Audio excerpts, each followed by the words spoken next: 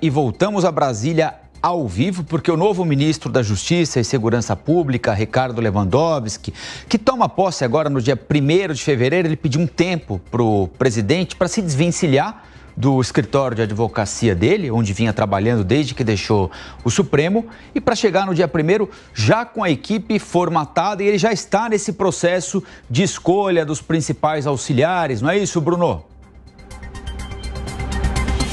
Justamente já indicou a sua chefe de gabinete, Ana Maria Alvarenga. Há cerca de 11 anos ela já acompanha Ricardo Lewandowski, atuando inclusive no STF também como chefe de gabinete e estava atuando recentemente no seu escritório de advocacia aqui na capital federal.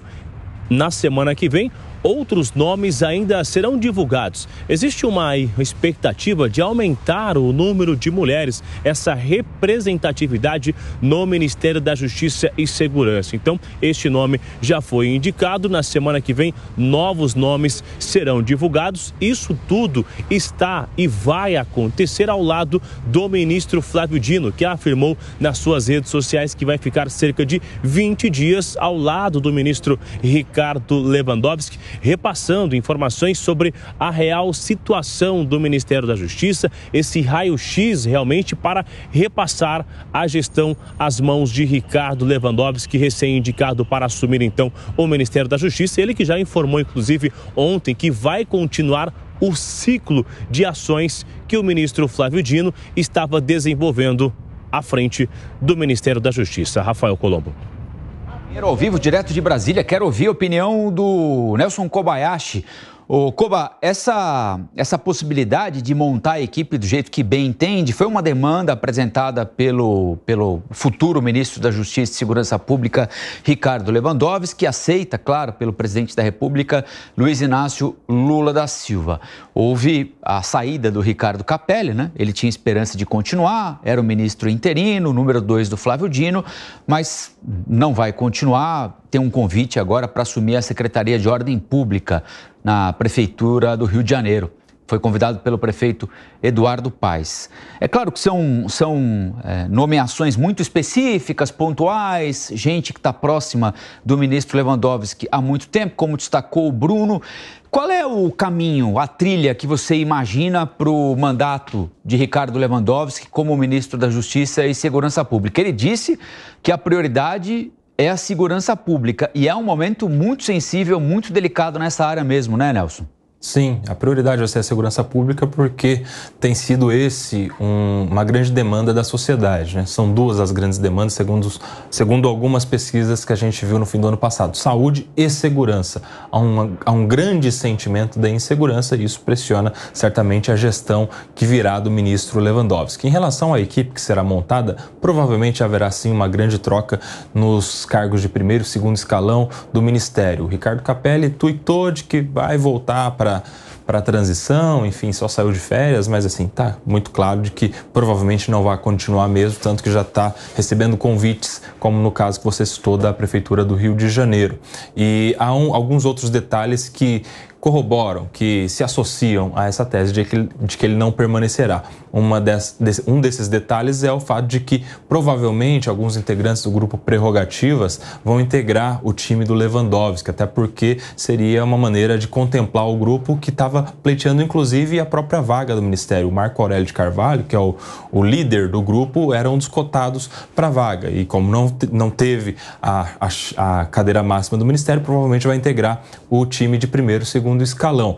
E os membros do Prerrogativas não sentam na mesma mesa do Ricardo Capelli. Aliás, o Ricardo Capelli tem resistência do próprio PT. Há, há uma diretora do Partido dos Trabalhadores que fez duras críticas ao Ricardo Capelli, dizendo que ele não tem a confiança do presidente Lula, nem deve ter, porque ele era um anti-lulista, um anti-petista, tinha posts nas redes sociais nesse sentido há cerca de cinco anos e agora não, te, não deveria ter, portanto, um cargo de tanta confiança como o do Ministério da Justiça, como era há alguns meses um pleito do, do Flávio Dino, né, quando estava ali sendo cotado para o STF e já pensando na sucessão do Ministério da Justiça. Ricardo Capelli nem fica no Ministério da Justiça como ministro, como já era muito difícil, e provavelmente não vai ficar como secretário executivo.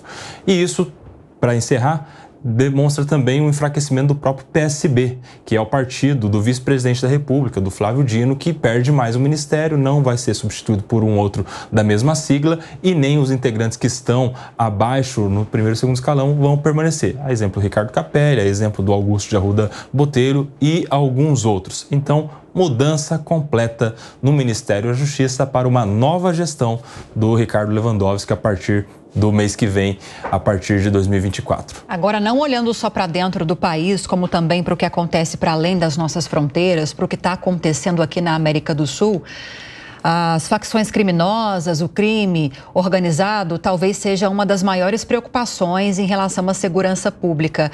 E logo depois que ele assumiu, que ele recebeu né, essa indicação, ele chegou a dizer que reconhece que existem muitas facções criminosas no país, mas que temos ao mesmo tempo também muitas instituições fortes e respeitadas. Isso é o suficiente, Kobayashi, para a gente conseguir avançar no combate ao crime organizado? Ou é preciso ir além? Ou é preciso que essas instituições ajam de forma diferente? Não, não é o suficiente. As instituições de fato são fortes. A Polícia Federal é forte, o Ministério Público Federal é forte, as polícias dos estados são instituições consolidadas, mas não basta que as instituições sejam fortes, é necessário, no mínimo, que haja uma integração que hoje não há. Isso é papel do Ministério da Justiça e Segurança Pública, criar política pública de integração de dados de inteligência, de, de banco de dados, de informações de pessoas com histórico, é, antecedentes criminais, antecedentes de ocorrências, troca de informações a respeito de investigações, em especial em regiões fronteiriças, o que hoje não acontece. Então, essa política pública é missão do Ministério da Justiça e Segurança Pública. Mas muito mais do que isso, a gente tem a necessidade de algumas reformas importantes, como foi, por exemplo, no primeiro governo do presidente Lula, em que o ministro era o Márcio Tomás Bassos e ele capitaneou uma reforma no judiciário que foi muito importante naquela época. Talvez agora, com alguém vindo exatamente do Poder Judiciário, alguém que ficou no STF por tantos anos, haja aí algumas propostas de lei e que também é da pasta do Ministério da Justiça tocar essa iniciativa pelo Poder Executivo em relação ao Congresso Nacional, com ideias, com projetos que visem aprimorar o sistema de justiça, que possam de alguma forma melhorar federalizar alguns crimes que têm maior complexidade, como é o caso do combate às facções criminosas, justamente porque se a organização criminosa age a nível nacional, não é interessante que a gente tenha um combate a nível estadual, como hoje a competência judicial estabelece que polícias civis dos estados investiguem facções criminosas a nível nacional. Talvez esse seria um dos passos a serem tomados pelo ministro Ricardo Lewandowski, ou seja, combate com políticas públicas de integração nacional nas forças de segurança e projeto que vise aprimorar o sistema de justiça no combate, em especial, ao crime organizado.